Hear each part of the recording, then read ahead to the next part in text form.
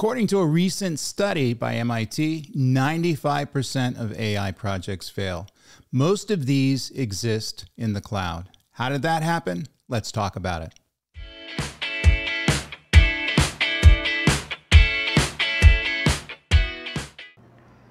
Hey Dave, Tim Crawford with Avoa and the host of the CIO in the Know podcast here in Park City, Utah.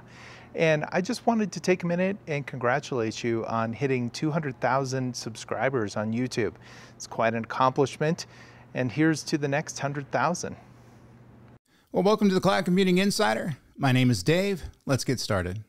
So, this is from a story that dropped uh, last month, August, uh, wherever you're reading this, August of 2025. And so it's about 30 days old or whatever. And I reported on it on my other channel, Dave is Not AI.